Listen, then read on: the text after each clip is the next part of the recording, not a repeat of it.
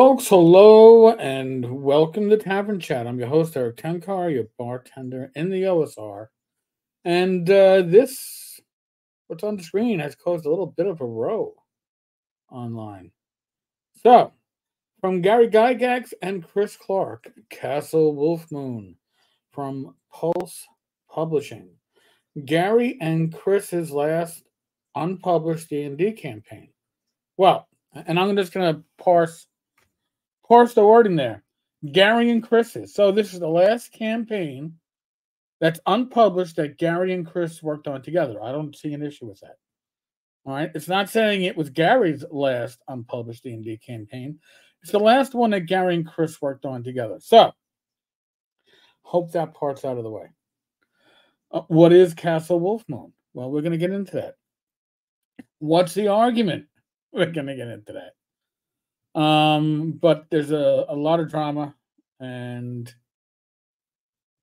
you know, this is stuff that's going to come to fruition. Um, this this this from the archives of Gary Gygax. Now, uh, you can argue about Gary getting first billing on the project, but we we've seen this numerous times before. You give top billing to the person whose name is the one that will gather attention. And I don't believe that the guy the Gary Gygax estate owns the Gygax trademark. I don't believe that that is true. I mean, it was Gail claimed that she owned it. Uh, back in the days of Gygax magazine, and that was litigated, but the litigation never came, you know, went never went to trial. It was never decided by a court. And my understanding is that you cannot trademark a proper name. But now maybe there's an argument over who owns the IP. Um, if the estate, if this was you know given to Chris, I would say that the estate doesn't have much of a hold on it. But I'm not a lawyer. Just going to throw that one out. So, let's look at the discussion that was going on on Facebook last night. And by the way, it was it was interesting.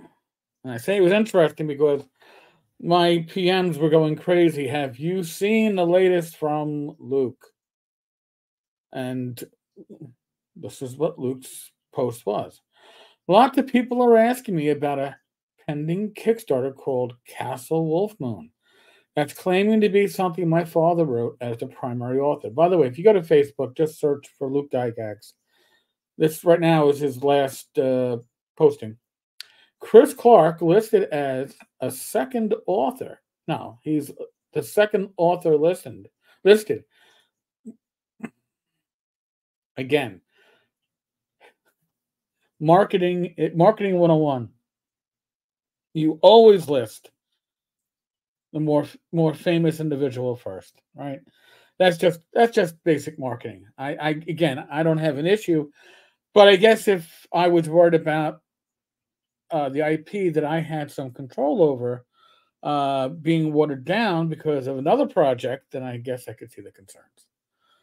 Um, Chris Clark, listed as a second author, did work with my dad in many projects in the late 90s and early aughts, as I recall. I don't recall my father ever talking about a Castle Wolfmoon campaign at all.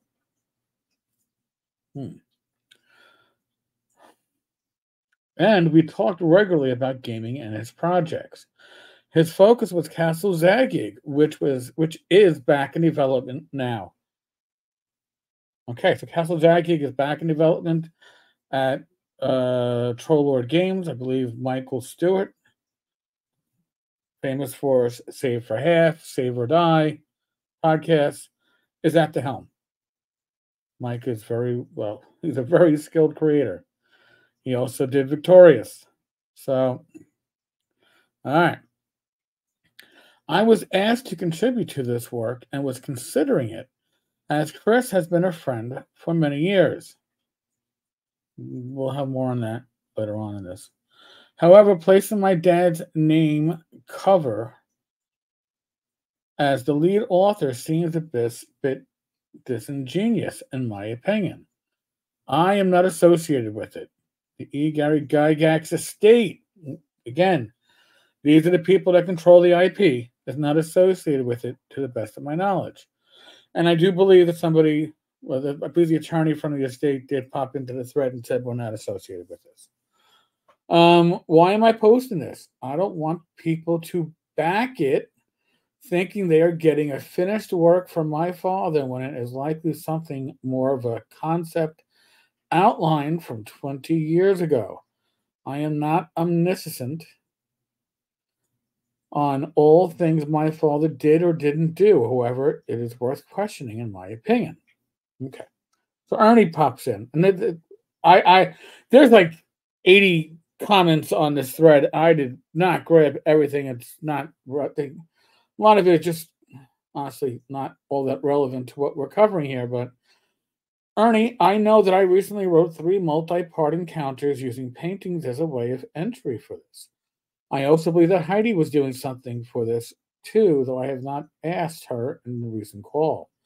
Dad and Chris Clark worked together very tightly, and he would be one of the few besides the Troll Lords and perhaps Matt Forbeck. Dad's last project, well, he had so many irons in the fire, and that, of course, is just one of his many unfinished projects.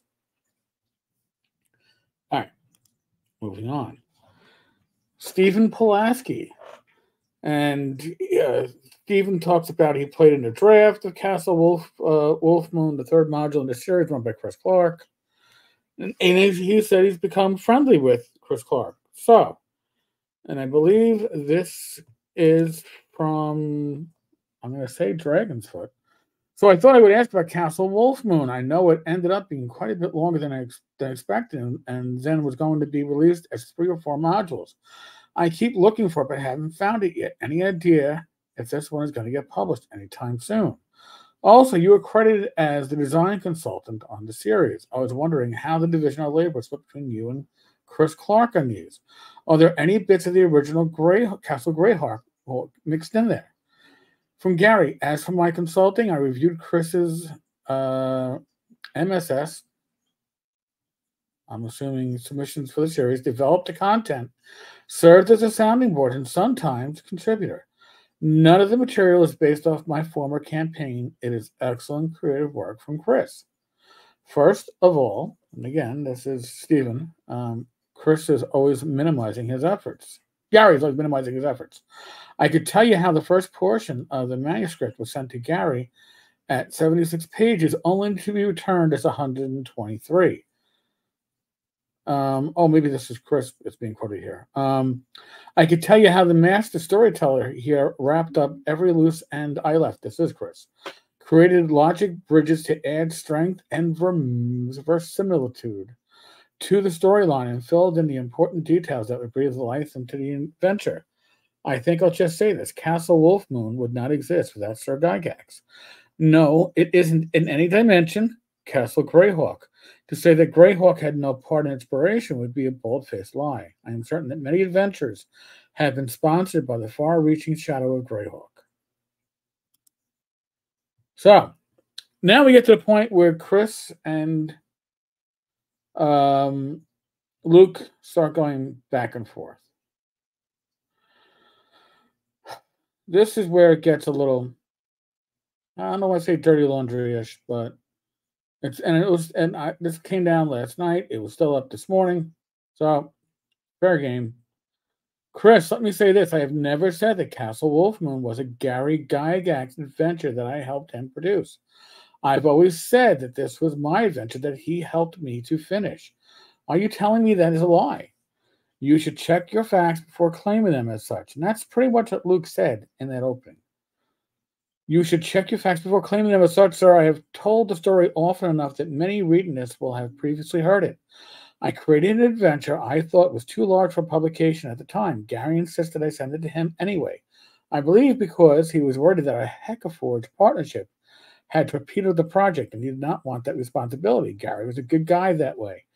Gary sent the manuscript back in 10 days. That's a week and a half for us normies. And it was nearly twice the size of what I had sent him. Evidently, Luke feels this never happened, despite me having told that story for about the last two decades. Again, it appears that this week, Luke decided that just couldn't have happened. Let's go on to some of the other assertions. Luke is telling you that his dad told him everything. Well, frankly, Luke, that's just not true. Then he talks about the mentions the divorce and all the interesting personalities he met in Los Angeles. Uh, yeah, I got some of that from Ernie uh, a couple of years back.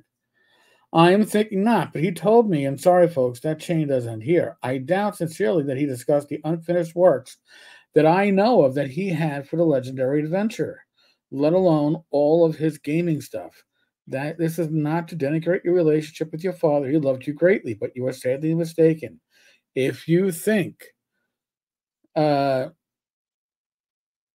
if, if, if you think he discussed everything with you, okay. Moving on. Again, Chris. Last item. I you have nothing to do with this project because of your feeling. Strange that you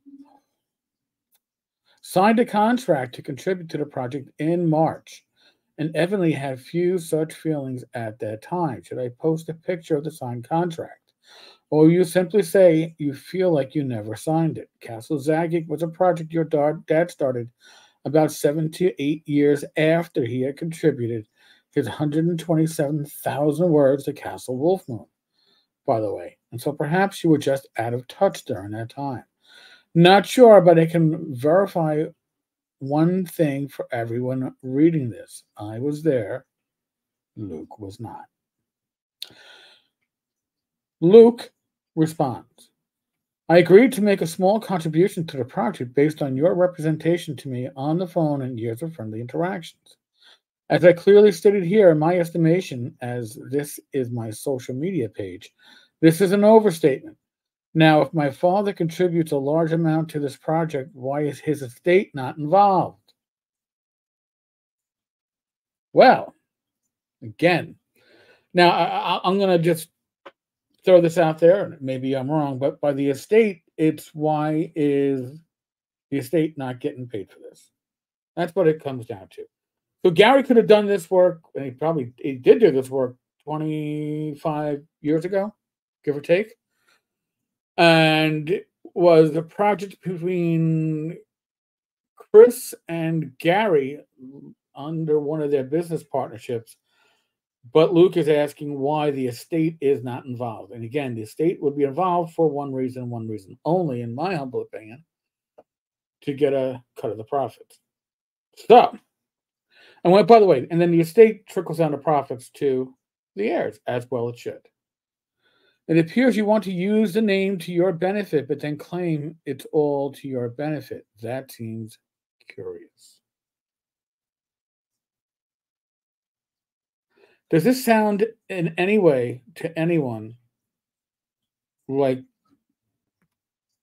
Gail back in the days of Gygax magazine? I'm just throwing it out there. I'd like to hear your opinions in the comments below. Also, shooting some attempts at personal barbs is not becoming, Chris. Once again, I expect better from you based on the years I've known you. Perhaps there is something else going on.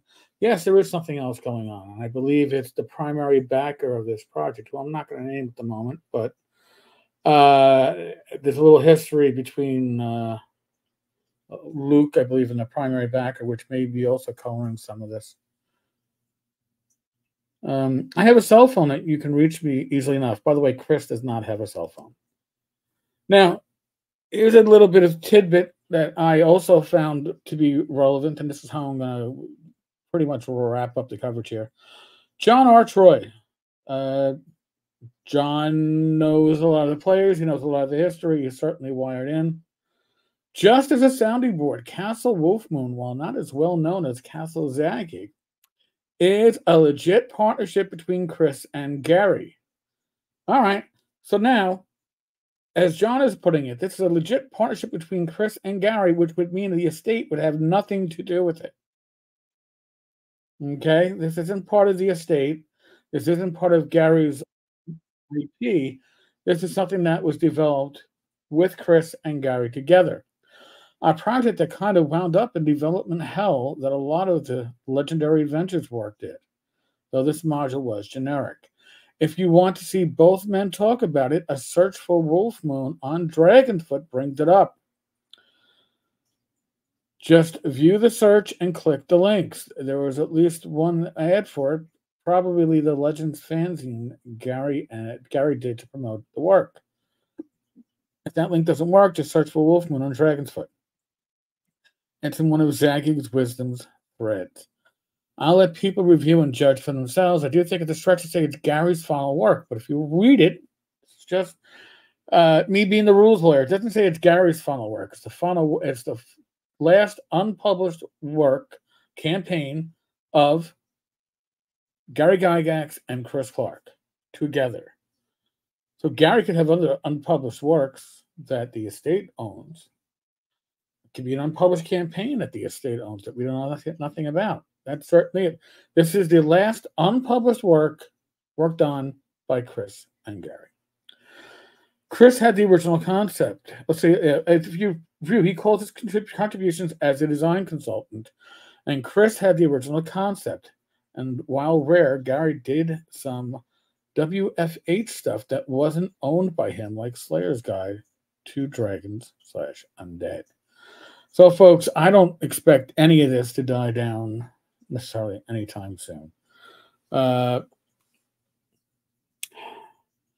when it comes to money, which I think is what this is actually sorting out to be when we talk about the estate, um, things can get can get a little uh, nasty, uncivilized.